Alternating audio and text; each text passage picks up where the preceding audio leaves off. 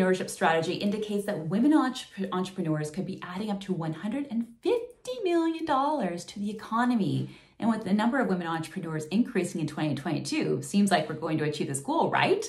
Wrong, because we have a problem.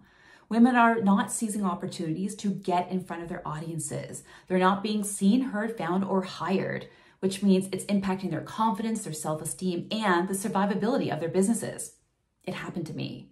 Many women are struggling to find ways to show up and feeling confident and authentic. And they're fearing being judged for what they look like, how they sound, especially online and as we age.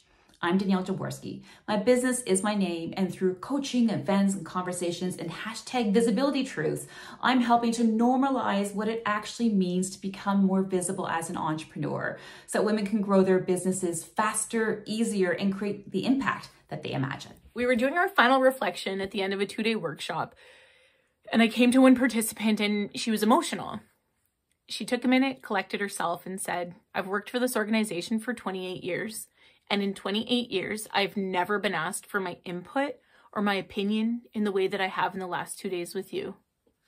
I can honestly say that it was in that moment that I knew I was leaving the corporation and starting my own business because the work I was doing with teams had to go beyond one corporation. We spend most of our waking hours at work, which means we spend most of our waking hours with the people we work with. So to not feel valued, to not feel connected, to not feel like you can provide input for 28 years is not okay.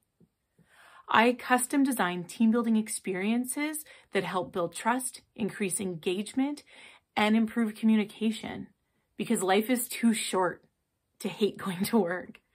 My name is Deanne Gagnon. My business is Deanne Gagnon Dynamics, and I help leaders build teams that people want to be on.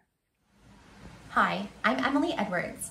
I'm a registered nurse and creator of Dementia Doula School, the first and only specialized dementia doula training program in North America. Like birth doula training programs, we train folks from all sorts of backgrounds, with or without healthcare experience, to provide highly skilled one-to-one private pay companionship that actually impacts the quality of life of these people. It gives caregivers a truly trustworthy source of respite and gives them their life back. This is the solution that we have been looking for to this massive caregiving crisis here in Canada. It also is a way for care work to become a viable and vibrant source of income for entrepreneurs, especially moms. My name is Melanie Cote. I am the mother of two children, Shane, who's 13, and Alma, who's 10, who was born with a disability and I am the founder of Do Good Donuts. As young adults with disabilities like my daughter face a staggering unemployment rate. 85% of youth with intellectual or developmental disabilities are unemployed. Do Good was created to hire and train young adults with disabilities to give them the skills, the experience, and the confidence to move into jobs in the community. In the two years of our pilot program at farmers markets, we've sold more than 15,000 donuts and countless cookies. And this year, we are scaling our business into our brick and mortar location in our new bakery and cafe facility, we will be running a full production bakery and also serving people in-house. We'll be in the back preparing our orders for wholesale, for retail, for our new mail order cookie business, launching this fall, and also for catering. We've catered for Daniels Corp, for Fidelity. We've even catered the set of a Disney movie. We are so excited to move this business forward. This is my dream. It is absolutely a work of heart for me. It means so much to me to know that my daughter will see people like her at work. Hi, my name is Kathleen Francis. I'm a registered nurse. I've worked in the long-term care sector for 30 years in various leadership roles. I am the founder and CEO of Dragonhart Staffing and Recruitment Inc. I am very aware of the staffing crisis that exists. Dragonhart provides temporary or permanent staffing to long term care homes.